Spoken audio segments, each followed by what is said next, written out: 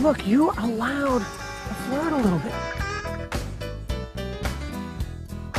From indies to big budget movies, from writing to directing and producing, this Hollywood talent is heading to the NHL.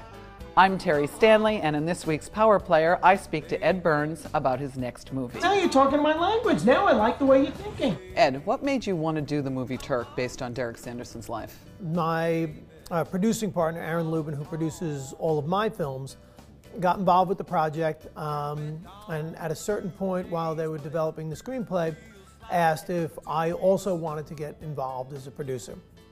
Um, read an early draft of the script, thought it was terrific, was familiar with the story, and said, yeah, instead of Aaron doing it independently, why don't we both come on and uh, we'll do it together. At some point during the development process and the writing of the script, Doug, the filmmaker, said, hey, you know, it's not a huge part, but how would you feel about playing Derek's dad? Given that I was already involved with the project, very passionate about it, thought the script was terrific, and, you know, father son story, redemption story, story about friendship. These are the kind of themes that I play with as a filmmaker in my films. Um, so it was kind of a no brainer for me to, to jump in. There are little things about Harold, Derek's dad, that sort of reminded me, there are certain qualities reminded me of my dad. So I kind of, I think I have a good take on who that type of man was. Now, have you, you haven't cast the movie yet, correct? We have not cast it. No, we're sort Okay. of. We quite honestly, I mean, when you're casting a film, uh, you really get one shot to go out to the talent. So now we feel like we're pretty much at the spot where the script feels like it's in terrific shape. Um, but I, I'm, I know we have a couple of minor little notes. We'll do one more draft and then we'll go after our guy. In a perfect world, who would you choose? I really don't. You know, I mean, I'm I'm uh, I'm an actor in the film, and while I'm also a producer, you know, uh, I know what it's like when you're the writer director Right. and when it's your baby. But this is a trickier part because you're going to need someone who obviously is a great actor. But you need someone who has some ability, some sense of the game, is going to be able to get around on skates. Right, and now that the hockey lockout's over, this is excellent timing. And the timing could not be better. Could not be Yeah, better. Yeah, hockey fans are very happy today. Are you working with a major studio for the film? Uh, not as of yet. I mean, the way that these films get off the ground is you put together the best possible package that you can. That package includes hopefully a great screenplay, which we have, um, a filmmaker, uh, producers, uh, and then you start to build your cast. Once you have that together, that package, that's when you take that project out to the town. Let's talk a little bit about some of the a couple of the movies that put you on the map.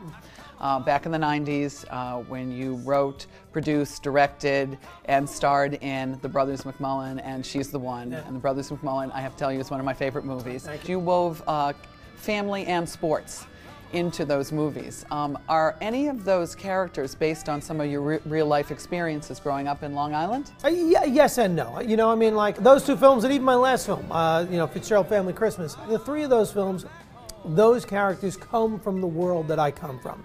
Um, so they grew up in the same towns, they went to the same schools, they drank in the same bars, they know the same people. Um, but I'm smart enough never to base anyone on anyone in my real life for fear that you know they might want to.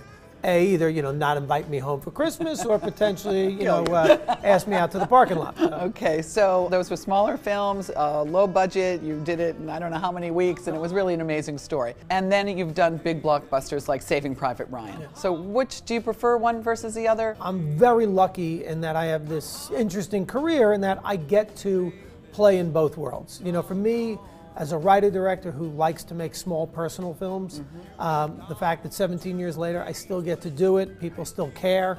That, that's kind of amazing. However, I lucked into this other acting career, and I've gotten to work in with Tom Hanks and Spielberg and Saving Private Ryan. I've gotten to work with De Niro, Dustin Hoffman. You know, you get to go and play with your heroes. Let's go back just to the Fitzgeralds just for a second. So, again, a lot of family members in the Fitzgerald, but yet a darker tone, a darker style. Are you moving towards that? Um, you know, McMullen was lighter and more comedic. And when I sat down to write Fitzgerald, I thought, I don't want to sort of repeat myself tonally. You know, there are enough similarities in their experiences and the film's uh, milieu, I guess, Right. that tonally I wanted to make sure that there was a big difference. So uh, you're an actor, you're a producer, you're a director, you're a writer. What's next for Ed Burns? Like making movies is all I've ever wanted to do. I still love it. I know plenty of people who, for whatever reason, they have fallen out of love with their thing. And I just feel very lucky that I still love it. And that's all that I, I want to do. You know, and like I said, keep making my little ones. Yep. And uh, periodically, hopefully, the phone keeps ringing where I get to act with the, you know, in the bigger budget films. Uh, thank you very much for doing this interview for Style Boston. And, Thank you very uh, much. Love to have you here. Yeah, Thanks. appreciate it. Okay. So that means you're a Red Sox fan. Red Sox, Pats, Celts. Yes. Now, why, why would you go and do that and ruin what I thought was a pretty good thing we got going on here? What makes you think this was a good thing?